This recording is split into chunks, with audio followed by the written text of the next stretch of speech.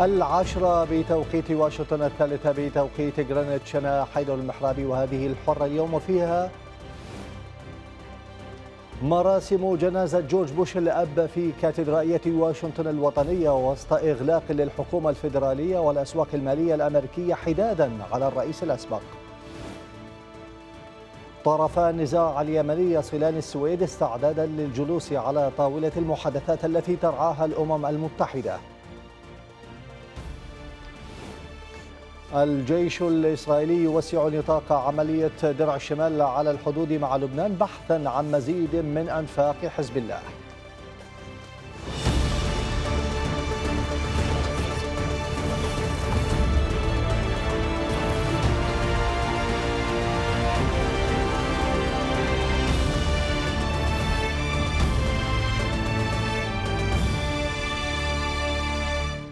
بداية النشرة مشاهدينا من هنا من الولايات المتحدة حيث يواصل الأمريكيون اليوم إلقاء النظرة الأخيرة على الرئيس الأمريكي الأسبق جورج بوش الأب.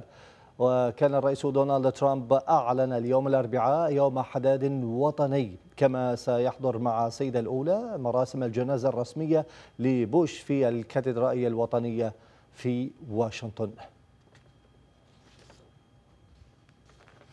وقد بدأ الوداع الأخير للرئيس الراحل جورج بوش الأب الاثنين بنقل جثمانه على متن طائرة الرئاسة من مدينة هيوستن في ولاية تكساس إلى العاصمة واشنطن. وأمر الرئيس دونالد ترامب بإرسال طائرة الرئاسة لنقل الجثمان من هيوستن إلى قاعدة أندروز العسكرية في ولاية ميريلاند.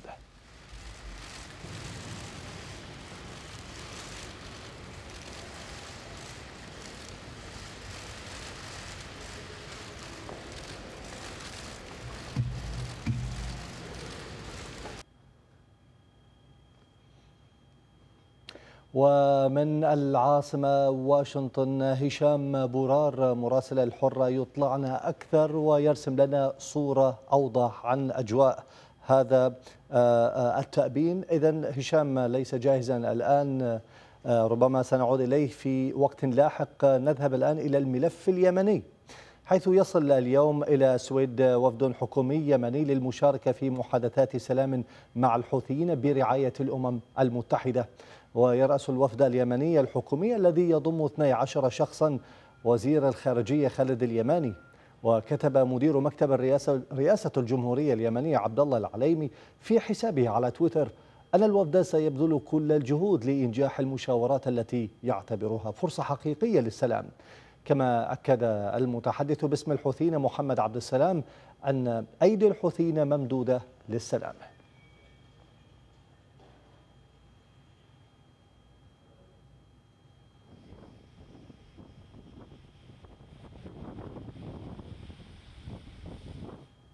هذه عودة إلى واشنطن ومراسل حرة من هناك هشام بورر لإطلاعنا أكثر على الأجواء أجواء هذا التأبين الرئاسي إليك هشام.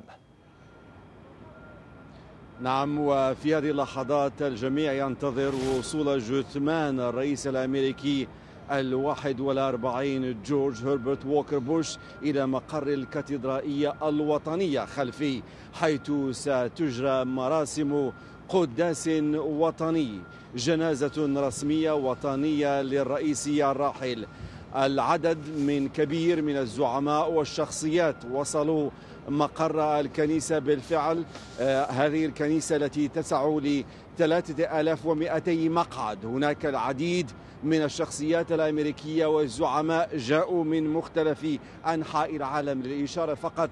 العائلة الأردنية عبد الله الثاني والملكة رانيا يشاركان في هذه الجنازة في هذه المراسم. هناك أيضا رئيس وزراء بولندا أندري دودا وأيضا أنجيلا ميركل المستشارة الألمانية إضافة إلى أمير تشارلز من بريطانيا ورئيس الوزراء البريطاني الأسبق جون ميجر. أمير البحرين عبد الله بن حمد الخليفة أيضا حاضر وأمير قطر السابق حمد بن خليفة آل ثاني. فقط إشارة لأهمية هذه الشخصية ومدى اجتذابها لحضور بارز من شخصيات وزعماء عبر العالم. أبوا إلى أن يشاركوا في مراسم تأبين الرئيس آه، الأسبق جورج هربرت ووكر بوش. المراسيم ستبدأ بكلمة بعد القداس بكلمة للرئيس الأسبق جورج بوش الإبن آه، وفقا لمصادرنا من آه، مكتب الرئيس الأسبق. قالوا بأن هذه الكلمة ستؤكد على جانب عاطفي على علاقة الإبن مع الأب آه، وستتخللها لحظات مؤثرة. وفقا لهؤلاء المسؤولين وأيضا لبعض المقتطفات من ذلك الخطاب الذي سيلقيه الرئيس جورج بوش الإبن. بعد ذلك سيلقي جون ميتشم وهو مؤرخ وكاتب أمريكي ألف كتابا عن سيرة الرئيس الأمريكي الأسبق جورج بوش الأب. سيتحدث في كلمة عن آه، آه، شخصية الرئيس عن تاريخه. عن تضحياته عن مسيرته منذ كان طيارا بحريا آه، في شباب عمره عندما كان في 18 من عمره والتضحيات والمحطات التي تسلق من خلالها آه، آه، الهرم السياسي من عضو في الكونغرس إلى نائب للرئيس مدير لوكالة الاستخبارات المركزية ورئيس للولايات المتحدة الرئيس الواحد والأربعون بطبيعة الحال. سيلقي كلمة أيضا براين مالروني وهو رئيس وزراء كندا. آه، اختاره الرئيس الأسبق جورج بوش لإلقاء هذه الكلمة بنفسه لأنه صديق حميم حميم له. ثم بعد ذلك سيلقي كلمة أيضا آه، آلان سيمبسون وهو سيناتور سابق عن ولاية وايومينغ في هذه الكلمة يتوقع أن ننتقل إلى مرحلة الدعابة والجانب آه، المزاحي للرئيس الأسبق. كان صديق حميم كان يتبادلان المزاح كل الوقت ويتوقع من هذه الكلمة أن تكشف جانبا آخر للرئيس الأسبق. علما أن الرئيس الحالي آه، دونالد ترامب قبل لحظات بعث بتغريدة يشير فيها إلى أن هذا هذه الجنازة الرسمية وإن جاءت في يوم حداد وطني إلا أنها لن تكون للحزن والأسى بل ستكون للاحتفال بمسيرة شخصية عظيمة كما قال شخصية عظيمة وحياة طويلة دامت 94 عاما وتتخللها الكثير من المحطات والإنجازات واللحظات الجديرة بالذكر أمام هذا الحضور الكبير من زعماء عبر العالم ومن شخصيات بارزة رؤساء الولايات المتحدة الذين هم على قيد الحياة. كلهم حاضرون هنا من الرئيس الأسبق بيل كلينتون جيمي كارتر وباراك أوباما. كلهم سيكونوا حاضرين هنا. الرئيس دونالد ترامب سيكون حاضرا. لن يلقي كلمة خلال هذا القداس. لا يمكننا قراءة الكثير من غيابه عن آه، منبر الخطابات خلال القداس لكن فقط لم يدرج اسمه لأن هذا التحضير وجدول المتحدثين هذه القائمة أعدت حتى قبل أن يعرف الرئيس الأسبق آه، جورج بوش الأب آه، أن الرئيس دونالد ترامب سيصبح رئيسا للولايات المتحدة. عادة هذه التحضيرات وهذه الاستعدادات بتفاصيلها وبحذافيرها يعد لها وتوضع آه، منذ فترة طويلة. هشام بالنسبة للإجراءات المتبعة في مثل آه، هذه الأحداث آه، الرئيس الأمريكي عادة ما ربما يأمر بتنكيس الأعلام يعني تكريما للرئيس الأمريكي المتوفى. هذا أيضا ما حصل اليوم. ثلاثون يوما ستنكس به الأعلام. هذه الدعوة التي أطلقها أيضا الرئيس دونالد ترامب. فعلا ومن المعلومات اللافتة فقط أن هذه الأحداث نادرة في تاريخ الولايات المتحدة. حاليا هناك 45 رئيسا فقط تعاقبوا على الرئاسة في الولايات المتحدة. هذه آخر جنازة من هذا النوع شهدناها منذ 12 عاما عندما توفي الرئيس الراحل جيرالد فورد وشهدنا مثل هذه الأحداث. لذلك هناك مراسم محددة وطقوس معينة يتبعها الرؤساء الحاليون. من ضمنها إعلان اليوم يوم حداد وطني. فالحكومة الفيدرالية بجميع مؤسساتها مغلقة اليوم. حتى الكثير من المدارس مغلقة اليوم. آه، يوم حداد وطني تنكس فيه الأعلام. أيضا هي مناسبة نادرة. آه، تتوحد فيها الصفوف في الولايات المتحدة.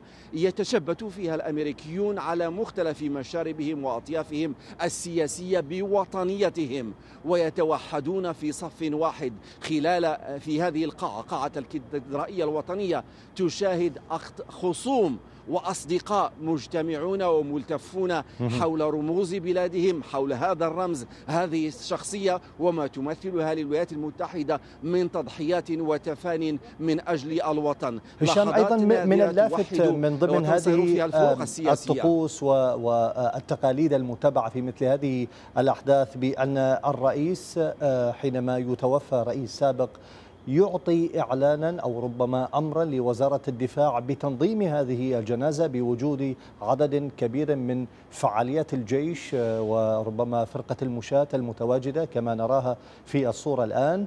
وأيضا تقدم المساعدة لعائلة المتوفى بتنظيم مثل آه، هذا التأبين. بالفعل والرئيس دونالد ترامب أذهب إلى أبعاد من ذلك رغبة منه لا سيما في رأب الصدع مع عائلة بوش آه، بعد خلافات سياسية ليست سرا لكثير من الأمريكيين ولمن يتابعون السياسة الأمريكية. الرئيس الأمريكي آه، دونالد ترامب قرر منح آه، العائلة الطائرة الرئاسية Air Force 1 لتذهب إلى تكساس لهيوستن هي التي نقلت جثمان الرئيس جورج آه، هربرت ووكر بوش نقلته إلى واشنطن. ستنقله مرة ثانية إلى تكساس ليوارى الثرى. هناك آه، الرئيس الأمريكي أيضا سمح لجورج بوش الإبن وزوجته بالإقامة في ال Blair House وهي مقر إقامة لضيوف والشخصيات البارزة للبيت الأبيض لا سيما الرؤساء رؤساء الدول الحليفة الذين يأتون لواشنطن للقاء الرئيس الأمريكي. الأمريكي هي هو منزل تاريخي موجود أمام البيت الأبيض بالضبط والرئيس الأمريكي سمح لهم بالإقامة في هذا المنزل وأيضا آه، زارهم بشكل شخصي هو وعقيلته ميلانيا بالأمس. ميلانيا أيضا وفي لحظات ودية مع لورا بوش وهو طبعا علاقة مع سيدة أولى وسيدة أولى سابقة. استضافت السيدة الأولى في البيت الأبيض لزيارة آه، الاستعدادات لاحتفالات عيد الميلاد في أروقة البيت الأبيض. هناك أيضا آه، نية للرئيس الأمريكي في استضافة بوش وزوجته اليوم آه، في البيت الأبيض قبل مغادرتهما إلى آه، ولاية تكساس لحضور الجنازة جنازة الختامية غدا في تكساس وأيضا مراسم الدفن. طبعا كما قلت لحظات نادرة. توحد نعم الصفوف. ونحن نتحدث نعم. عن هذه المراسم ل يعني توديع شخصية مهمة داخل الولايات المتحدة كرئيس لهذه البلاد. خلال 30 عام الماضية ربما ذكرت قبل قليل بأنه هناك خمس رؤساء توفوا وحظوا آه، كثير منهم طبعا بمثل هذه الجنازات الرسمية. نذكر آه، آه، فورد وريغان وجونسون والآن بوش أيضا. الكل ربما يأتي قريبا من الكاتدرائية الوطنية في واشنطن وبوجود هذه القاعة داخل هذه الكاتدرائية. هل هناك أي بعد تاريخي هشام إذا كانت لديك أي معلومات عن سبب توجههم إلى هذا المكان وبعد ذلك الذهاب بهم عودة إلى مسقط رأسهم؟ طبعا وهي الكاتدرائية الوطنية لأنها تمثل آه، آه، مركز إن شئت لهذه الجنازات الرسمية. آخر جنازة آه، شهدت في هذا المكان. بطبيعة الحال لا ننسى جنازة جون ماكين السيناتور الأمريكي الذي توفي من خلال قبل أشهر فقط وشيعت جنازته أيضا ونظم قداس له في هذه الكنيسة. هي رمز وطني أكثر من أنه ديني. هناك طبعا الشخصيات الكبرى في التاريخ الكبيرة في التاريخ نظمت لها جنازة في هذا المكان. وأيضا لا ننسى بأن كما قلت هو مكان كبير جدا يسع الحضور الكبير الذي يمكن أن يستقطبه مثل هذا القداس. وهو تسع ل 3200 مقعد. هناك الكثير من اللحظات التاريخية منذ وفاة الرئيس الأسبق جون إف كينيدي. الجميع يتذكر لحظات وهذا الموكب الذي تأتي به الجنازة إلى هذه الكنيسة. فباتت رمزا طبعا للمواساة رمزا لتكريم الرؤساء السابقين. للشخصيات الكبيرة في تاريخ الولايات المتحدة وليس فقط الرؤساء. معلمة مهمة في واشنطن أثرية أيضا لزيارتها لمن يأتي إلى واشنطن يمكنه زيارة هذه المعلمة نظرا لبعدها التاريخي أيضا ولشكلها ولهندستها التاريخية أيضا والأحداث كما تقول كما قلت التي تعيد التي تعيدها إلى الأذهان بمجرد وقوفك أمام نعم منارتها الشامخة. فنعم نعم. هشام أشكرك شكرا جزيلا حتى الآن على كل هذه المعلومات والإيضاحات والصورة القريبة جدا عن أجواء الجنازة الرئاسية للرئيس الأسبق جورج بوش الأب. وربما نعود إليك لتفاصيل أكثر في نشرات لاحقة أو ربما في سياق حتى هذه النشرة. شكرا جزيلا لك هشام برار مرة أخرى. مشاهدينا نعود إلى اليمن حيث أكدت الولايات المتحدة أن المحادثات بشأن اليمن في السويد خطوة أولى ضرورية وحيوية للسلام ودعت الأطراف كافة للالتزام الكلي بوقف أي أعمال عدائية. وأضافت المتحدثة باسم الخارجية الأمريكية هيدر ناورت أن هذا الظرف مناسب لليمنيين لتعويض الصراع بالتوافق والعمل سويا لرسم مستقبل مشرق لليمن. توقعت المنظمة الدولية للهجرة ارتفاع عدد المهاجرين الذين يصلون إلى اليمن بنسبة 50% هذا العام مقارنة مع العام الماضي. وقال المتحدث باسم المنظمة جويل ميليمان أن المهاجرين الذين يصلون إلى اليمن يسافرون برا عبر جيبوتي ثم يخوضون رحلات خطرة بالقوارب عبر خليج عدن إلى اليمن. وتشير تقديرات إلى أن 92% من المهاجرين من إثيوبيا والباقين من الصومال وإن 20% منهم قصر كثير منهم دون مرافقين. إلى إسرائيل مشاهدينا حيث قال الناطق بلسان الجيش الإسرائيلي إن أعمال حفر إضافية تجري في شمال غرب الحدود قبالة بلدة رامية اللبنانية. وتأتي أعمال جديدة بالتوازي مع الكشف عن النفق المقابل لبلدة كفركلة جنوب لبنان. وقال الناطق أنه سيتم إخراج هذه الأنفاق من حيز العمل دون الإفصاح إذا ما سيتم تفجيرها أو تفخيخها. وكان الجيش الإسرائيلي أطلق عملية درع الشمال التي تهدف لكشف وتدمير أنفاق حفرها حزب الله لشن هجمات عبر الحدود من لبنان على إسرائيل. هذا ويعقد اجتماع للجنة الثلاثية في الناقورة جنوب لبنان يضم ضباطا من الجيش الإسرائيلي وضباطا من الجيش اللبناني وقائد قوات الأمم المتحدة العاملة في لبنان اليونيفيل للبحث في أنفاق حزب الله.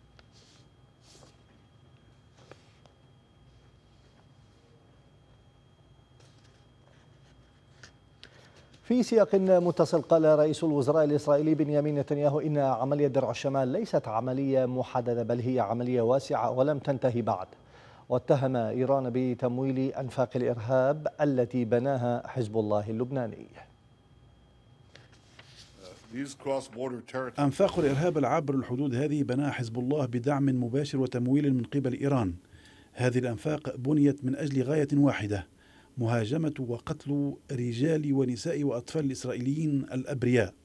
هذا انتهاك خطير للسيادة الإسرائيلية وانتهاك صارخ لقرار مجلس الأمن رقم 1701 هذا عمل عدواني وحشي غير مقبول. ويعقد اجتماع للجنة الثلاثية في الناقورة جنوب لبنان. كما ذكرنا يضم ضباطا من الجيش الإسرائيلي وضباط من الجيش اللبناني وكذلك قائد قوات الأمم المتحدة العاملة في لبنان اليونيفيل للبحث في العملية الإسرائيلية لكشف أنفاق حزب الله وبالتالي تدميرها. من جهته قال المتحدث باسم الجيش الإسرائيلي إن أعمال الحفر هي إضافية وتجري في شمال غرب الحدود قبالة بلدة رامية اللبنانية بالتوازي مع الكشف عن النفق المقابل لبلدة كفركلا جنوب لبنان. كما أوضح أنه سيتم إخراج هذه الأنفاق من حيز العمل دون الإفصاح إذا ما سيتم تفجيرها أو تفخيخها. أما الجيش اللبناني فقد أكد أنه يسير دوريات مع قوات اليونيفيل على طول الحدود مع إسرائيل لتفادي أي تصعيد. توقع سفير إسرائيل لدى الأمم المتحدة داني دانون أن توافق الجمعية العامة للأمم المتحدة على قرار يدين حركة حماس بسبب إطلاق صواريخ نحو إسرائيل. وعبر عن اعتقاده بالحصول على أغلبية الأصوات. هذا ومن المقرر أن تصوت الجمعية العامة على مشروع القرار الأمريكي بعد ظهر غد الخميس. وقال سفير الكويت لدى الأمم المتحدة منصور العتيبي إن الدول العربية ستسعى للحصول على دعم للقرار بأغلبية الثلثين بدلا من أغلبية بسيطة. يبدأ ممثل وزير الخارجية الأمريكية الخاص للشأن السوري السفير جيمس جيفري ونائب مساعد وزير الخارجية الأمريكية لشؤون المشرق والمبعوث الخاص إلى سوريا جويل ريبورن يبدأان زيارة إلى تركيا والأردن الشهر الجاري. بيان صادر عن الخارجية الأمريكية أوضح أن السفير جيفري سيلتقي في تركيا بقادة أتراك ومسؤولين كبار لمناقشة تعزيز الأمن والاستقرار في سوريا.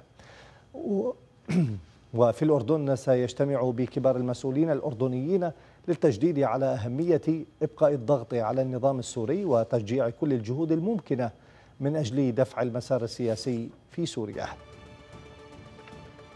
بعد قليل مشاهدين في هذه النشرة. اجتماع في جنيف بشأن مستقبل الصحراء الغربية بهدف إحياء عملية التفاوض المتعثرة منذ 2012 وقبيل اجتماع منظمة أوبك مطالب أمريكية بخفض إنتاج النفط والسعودية تحاول إقناع روسيا بالانضمام إلى التخفيضات.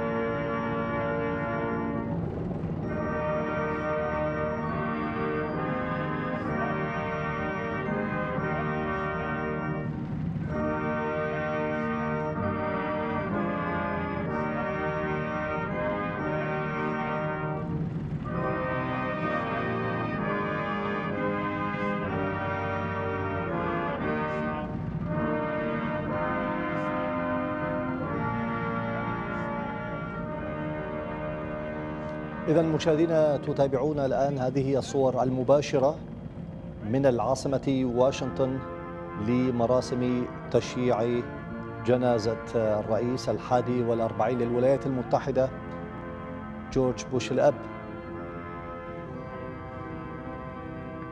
كما نتابع في هذه الصور الرئيس الأسبق جورج بوش الابن وأخيه جيف بوش.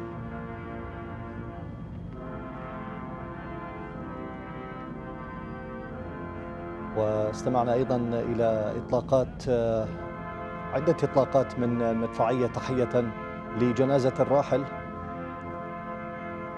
التي تبتعد الآن من مبنى الكابيتال على ما يبدو باتجاه الكاتدرائية.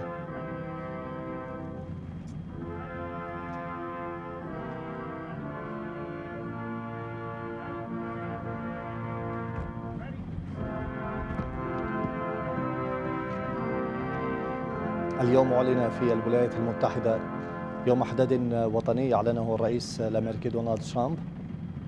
وتنكس الأعلام لمدة ثلاثين يوما. اليوم الأربعاء هو اليوم الأخير لمراسم هذه الجنازة التي استمرت ربما لعدة أيام.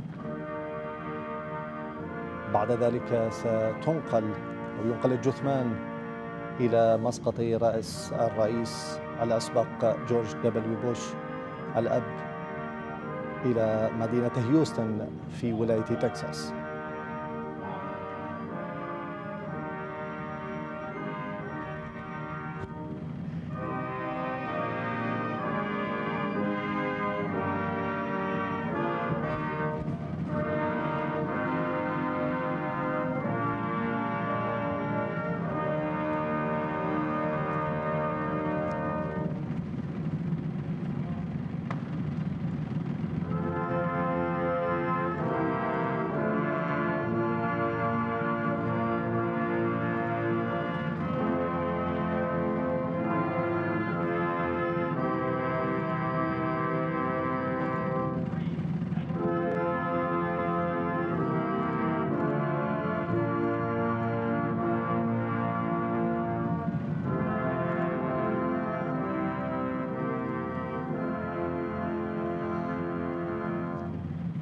هذه الجنازات الرسمية تكون بطلب من الرئيس الأمريكي الحالي ويكلف فيها وزارة الدفاع بتنظيم هذه الجنازات وتقديم المساعدة لعائلة المتوفى.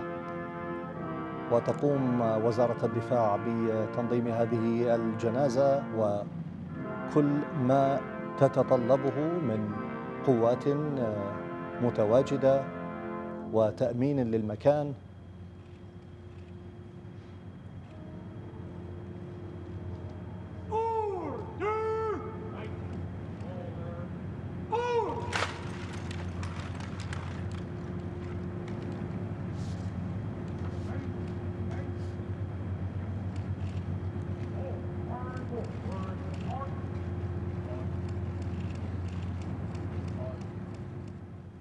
عودة لمشرتنا مشاهدينا وتبدأ اليوم بمقر الأمم المتحدة في جنيف محادثات بين المغرب والجزائر وموريتانيا وجبهة البوليساريو في محاولة لإحياء المفاوضات المتوقفة منذ عام 2012 حول الصحراء الغربية. ووصفت الأمم المتحدة اللقاء بأنه يمثل فرصة تفاوض جديدة تتيح لشعب الصحراء الغربية حق تقرير المصير. وأعلن الناطق باسم الأمين العام للأمم المتحدة ثلاثاء أن أنطونيو غوتيريش يدعو كل الأطراف إلى الانخراط في المحادثات بدون شروط مسبقة وفي جو بناء. مهد انسحاب إسبانيا من مستعمراتها السابقة الصحراء الغربية عام 2000 و 1976 لولادة قضية تعد اليوم أحد أقدم النزاعات في القارة الإفريقية. نتابع تفاصيل أوفى مع محمود عبد الكريم في العرض التالي. في ذات العام أعلنت جبهة البوليساريو التي تشكلت لمقاومة الوجود الإسباني أحاديا قيام الجمهورية العربية الصحراوية وحظيت باعتراف بعض الدول الإفريقية ومباركة الجزائر التي اتخذت حكومة الصحراوية من أراضيها مقرا. في المقابل رفض المغرب وموريتانيا الاعتراف باستغلال الصحراء وهما المكلفان بموجب اتفاقية مدريد المبرمة مع إسبانيا بإدارة المنطقة. وساعد غنى الصحراء الغربية المشرفة على المحيط الأطلسي بالثروة السمكية والفوسفات والنفط والمعادن على تأجيج الصراع حولها.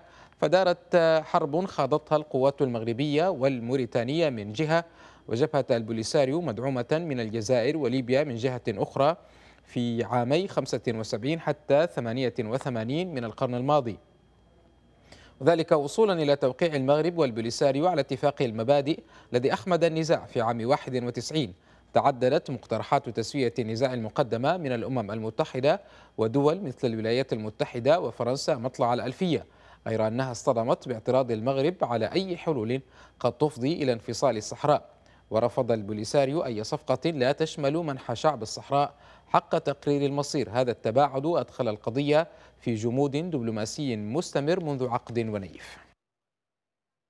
أصدر الإدعاء التركي مذكرتين لاعتقال المسؤولين السعوديين السابقين سعود القحطاني وأحمد عسيري للاشتباه بأنهما خططا لقتل الصحفي السعودي جمال خاشقجي. ونقلت وكالة رويترز عن مسؤولين تركيين أن المكتب خلص إلى أن هناك اشتباها قويا بأن القحطاني وهو مساعد كبير سابق لولي العهد السعودي وعسيري وهو نائب رئيس الاستخبارات العامة السعودية سابقا شاركا في التخطيط لقتل خاشقجي داخل قنصلية بلاده بإسطنبول في الثاني من تشرين الأول أكتوبر. ويأتي ذلك غداة تصريح مشرعين أمريكيين بأنهم أصبحوا متأكدين من أن ولي العهد السعودي هو المسؤول عن مقتل خاشقجي بعد إفادة مديرة وكالة المخابرات المركزية.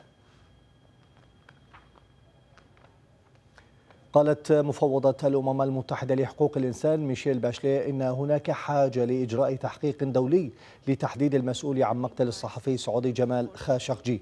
وردا على سؤال خلال مؤتمر صحفي في جنيف عبرت باشلي عن اعتقادها بوجود حاجة لمعرفة ما حدث بالفعل والأشخاص المسؤولين عن هذه الجريمة البشعة حسب تعبيرها.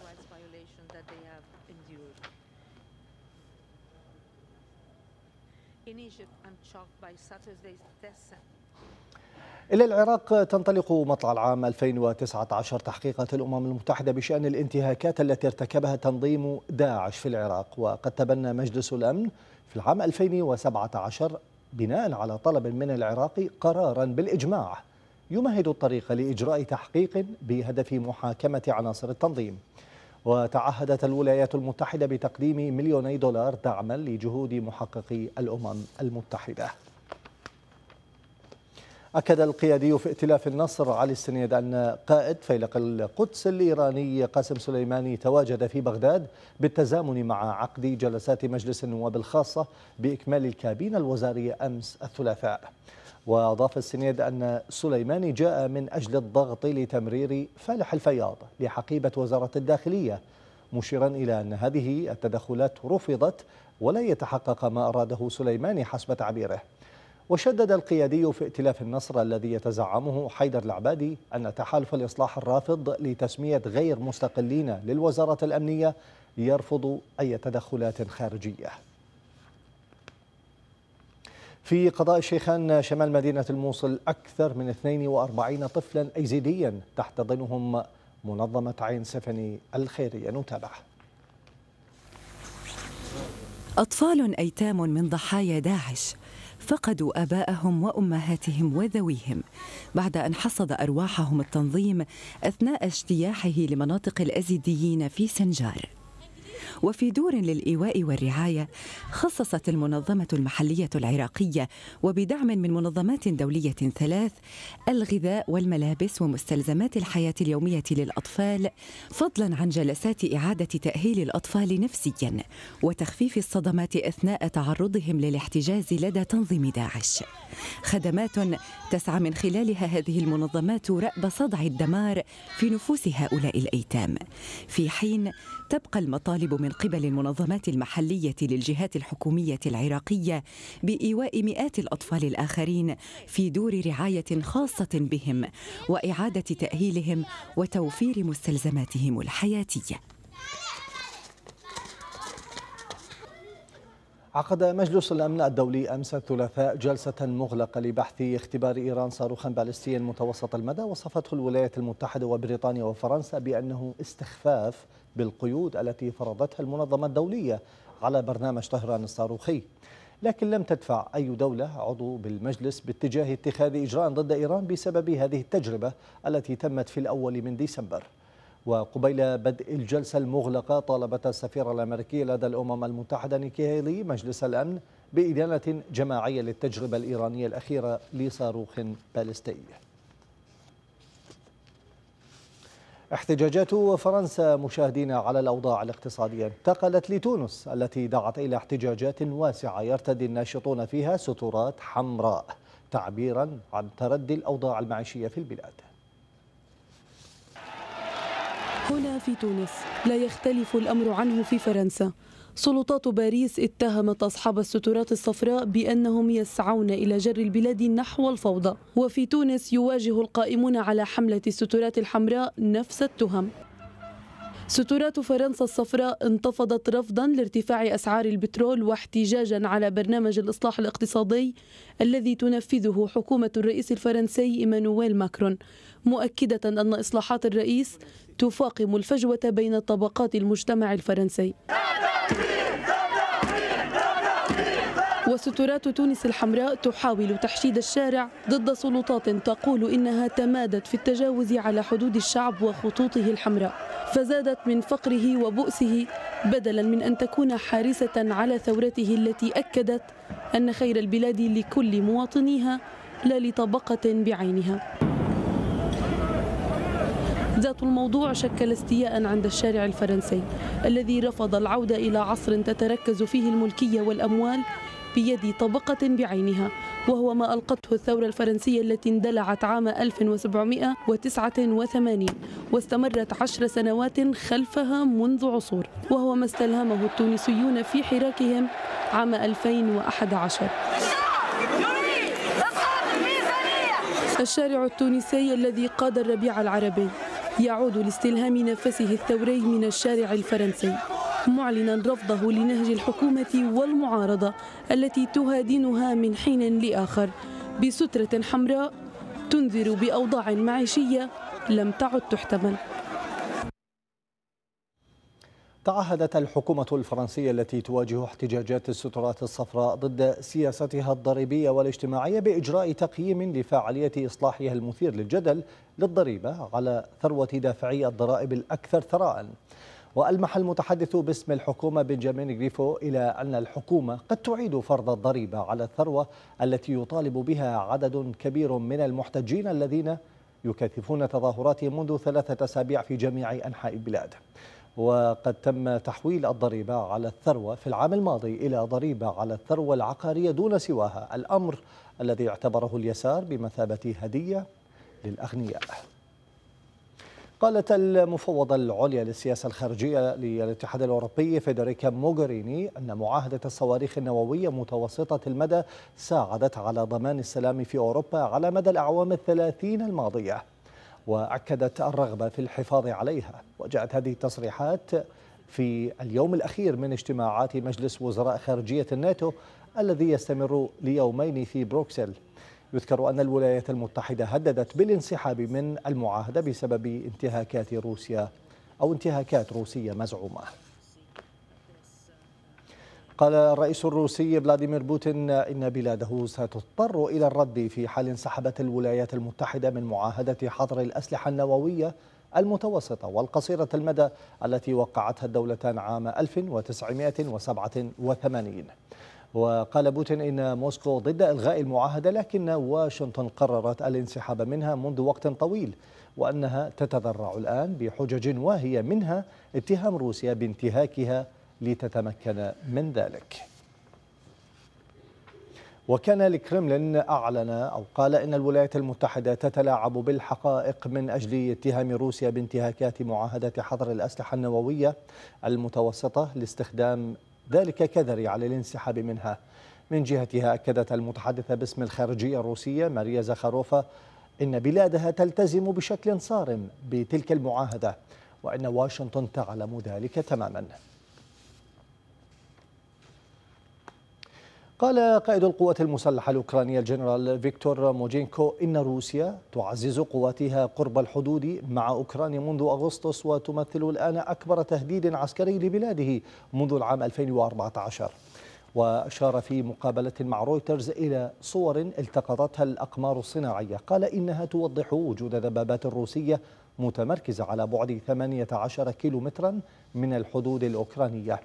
وقال موجينكو إن أوكرانيا نشرت المزيد من القوات البرية والجوية في المنطقة ردا على ذلك وعززت التدريبات العسكرية في أنحاء البلاد. في هذا الإطار مشاهدينا أفادت مصادر مطلعة بأن ممثل الولايات المتحدة الخاص بشأن إيران براين هوك التقى في فيينا اليوم وزير الطاقة السعودي خالد الفالح من دون ذكر أي تفاصيل بشأن ما تم تداوله خلال اللقاء. وكان الرئيس الأمريكي دونالد ترامب حث السعودية أكبر منتج في أوبك على عدم خفض الإنتاج لكي تبقى الأسعار منخفضة. وقال إن زيادة إمدادات النفط هو مقابل تدفعه الرياض نظير الدعم الأمريكي للسعودية في مواجهة إيران. وأعادت الولايات المتحدة فرض عقوبات على طهران الشهر الماضي الأمر الذي أدى إلى تقليص تدفقات النفط الإيراني في وقت تقول واشنطن إنها تريد في نهاية المطاف وقف الشحنات الإيرانية تماما. هذا وقال وزير النفط الإيراني بيجين زنغنا إن بلاده لن تناقش حصتها الإنتاجية في أوبك ما دامت تحت العقوبات. ونقلت وكالة أنباء الجمهورية الإسلامية الرسمية عن زنغنا قوله إن حصة إيران في منظمة الدول المصدرة للبترول لن تكون موضوع نقاش مع أي أحد ما دامت إيران تحت العقوبات. خسرت الحكومة البريطانية تصويتا يتعلق بالخروج خروج البلاد من الاتحاد الأوروبي بعد أن قرر النواب أنها ازدرت البرلمان برفضها نشر رأي قانوني كامل حول اتفاق بريكزيت. وسيضطر ذلك أو يضطر حكومة تيريزا ماي لنشر هذا الرأي كاملا قبل أسبوع من تصويت حاسم آخر في البرلمان حول الاتفاق نفسه في الحادي عشر من الشهر الجاري. ويعتقد معارضو الحكومة أن ذلك الرأي القانوني سيكشف عن شكوك النائب العام جيفري كوكس في اتفاق بريكزيت. بعد قليل مشاهدين في هذه النشرة. تعهد صيني أمريكي لتخفيف حدة الحرب التجارية بين أكبر اقتصادين في العالم.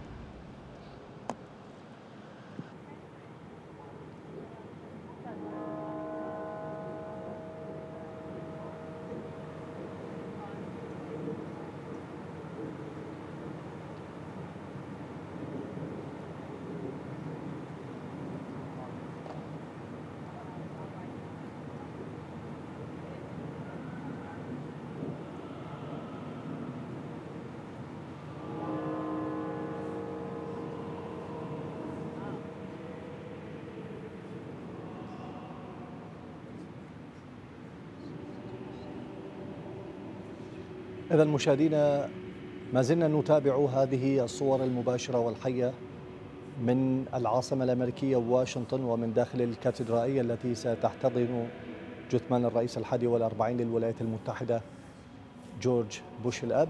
نتابع في هذه الصور عدد من الرؤساء الأمريكيين السابقين الرئيس باراك أوباما وأيضا الرئيس بيل كلينتون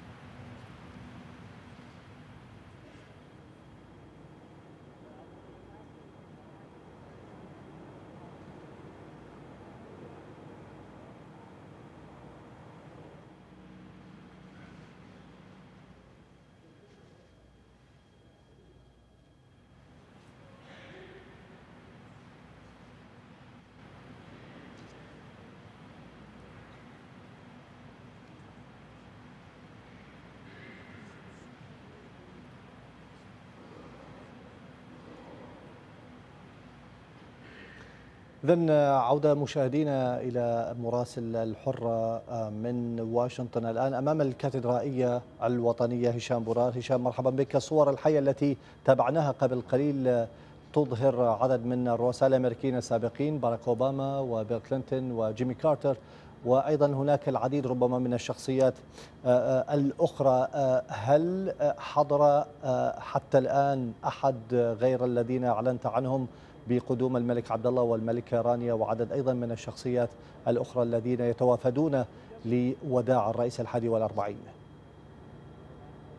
بالفعل من حضر بالفعل أخذ مكانه في هذه القاعة الآن في لحظات انتظار وصول جثمان الرئيس الأمريكي الأسبق جورج بوش الأب.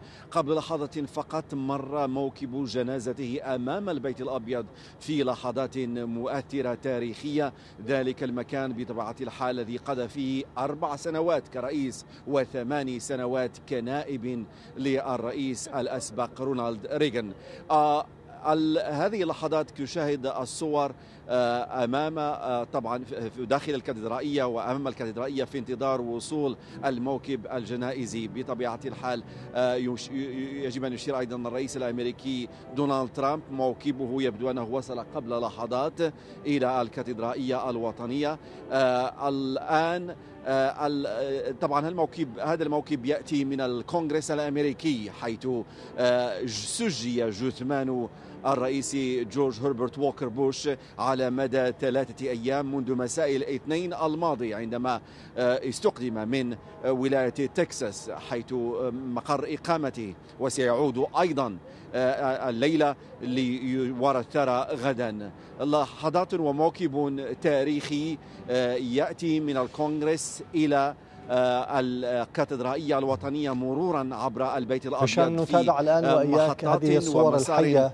لوصول الرئيس الأمريكي والسيدة الأولى إلى مقر الكاتدرائية الوطنية في واشنطن. هذه اذا مشاهدينا بالفعل. الصور الحية المباشرة من واشنطن لوصول الرئيس الأمريكي دونالد ترامب والسيدة الأولى ميلانيا ترامب لمقر الكاتدرائية الوطنية لحضور جنازة الرئيس الحادي والأربعين للولايات المتحدة الأمريكية جورج بوش الأب طبعا وهذا هو النشاط الوحيد على جدول الرئيس الأمريكي اليوم الذي قرر إعلان اليوم يوم حداد وطني. آه نشاهد الآن حديث آه وتبادل التحية مع الرئيس السابق آه باراك أوباما وزوجته ميشيل أوباما. لحظات فقط تحدث في مثل هذه المناسبات. التي تنصهر فيها الخلافات السياسية التوتر بين الزعماء بين المسؤولين بين السياسيين تحت سقف الكاتدرائية الوطنية في لحظات حزن وطني في لحظات جنازة وطنية. لحظات كما قلت تنفرد بها الولايات المتحدة شيئا ما لأن في هذه الأحداث يلتف الجميع حول العلم الوطني حول الرموز الوطنية.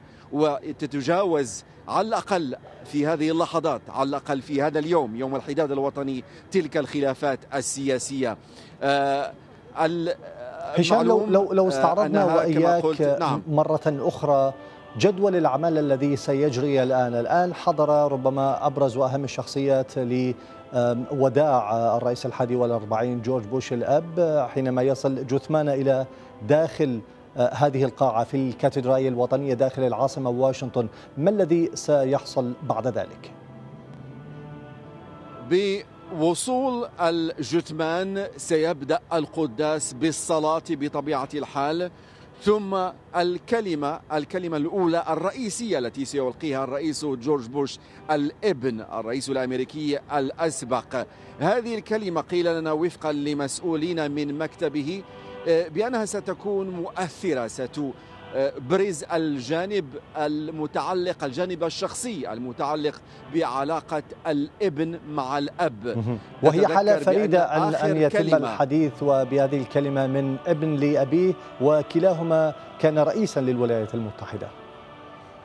بالفعل والرئيس الأسبق كان يقول دائما بأنه كان ليست علاقة أب وابن بل مستشار بل صديق. آه، تلك العلاقة الحميمية. سنستمع إلى جانب منها في خطاب الرئيس جورج بوش الابن. علما فقط للإشارة أن آخر كلمة نطق بها آه، أو جملة نطق بها الرئيس جورج بوش الأب لابنه عبر الهاتف آه، هي أنني أحبك أيضا.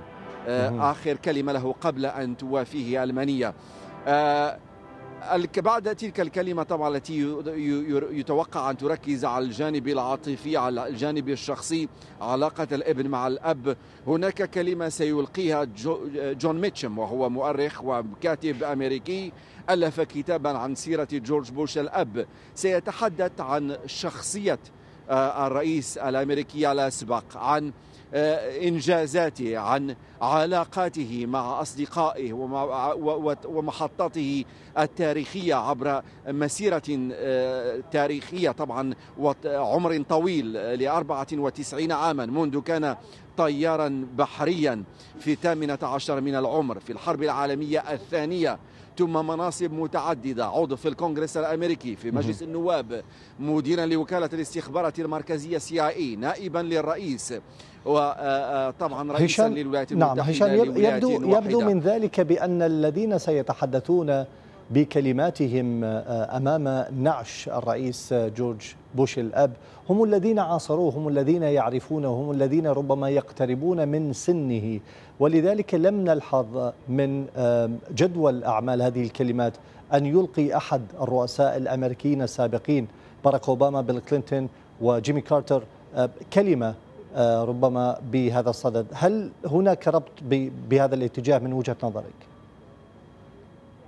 وبالفعل وكان يمكن أن يختار مثلا بيل كلينتون لا سيما وأنه ربطته علاقة صداقة معه رغم أنه كان الشخص الذي حرمه من ولاية صحيح. ثانية. آه، لكن آه، من طبعا آه، الجانب الآخر والفريد في شخصية جورج بوش أنه نجح في ربط تلك العلاقة الحميمية الوثيقة مع الرئيس الأسبق بيل كلينتون. سافر عبر العالم تضامن وتعاون من أجل قضايا وأعمال خيرية.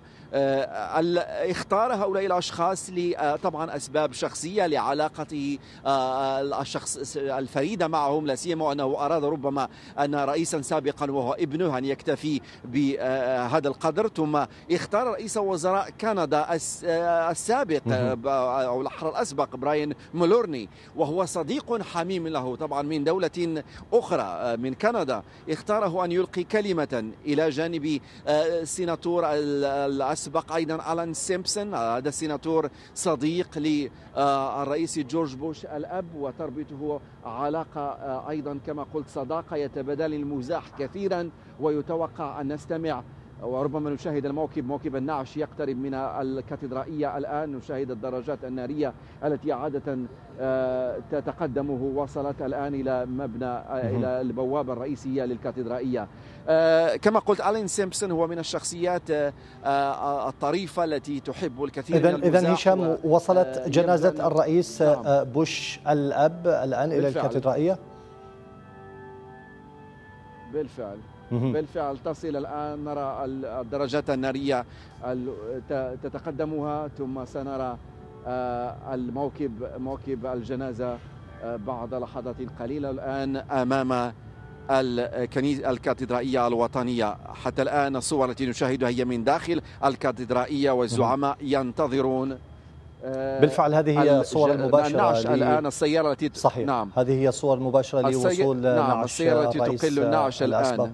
جورج نعم. بوش الأب إلى مقر الكاتدرائية الوطنية في العاصمة واشنطن. هشام بورار شكرا جزيلا لك مرة أخرى على كل هذه المعلومات وسيتابع معك الزملاء في نشرات لاحقة أجواء هذه الجنازة. شكرا لك مرة أخرى. إلى الصين مشاهدينا إذ قالت اليوم إنها تسعى جاهدة لدفع المفاوضات التجارية قدما مع الولايات المتحدة في غضون 90 يوما وتعهدت في بيان صادر عن وزارة التجارة بالعمل سريعا على نقاط التوافق التي تم التوصل إليها مع واشنطن لتخفيف حدة الخلاف التجاري بينهما. وقالت إن المحادثات بين الرئيسين الصيني شي جين بينغ والأمريكي دونالد ترامب نهاية الأسبوع الماضي كانت ناجحة. وإنها واثقة من تنفيذ اتفاقهما. في نهاية هذه النشرة مشاهدينا تذكير بأبرز العناوين. مراسم جنازة جورج بوش الأب في كاتدرائية واشنطن الوطنية وسط إغلاق للحكومة الفيدرالية والأسواق المالية الأمريكية حدادا على الرئيس الأسبق. طرف النزاع اليمني يصلان السويد استعدادا للجلوس على طاولة المحادثات التي ترعاها الأمم المتحدة. الجيش الإسرائيلي يوسع نطاق عملية الدرع الشمال على الحدود مع لبنان بحثا عن مزيد من أنفاق حزب الله. المزيد من الأخبار عبر الحرة دوت كوم ومنصات الحرة على مواقع التواصل الاجتماعي. إلى اللقاء.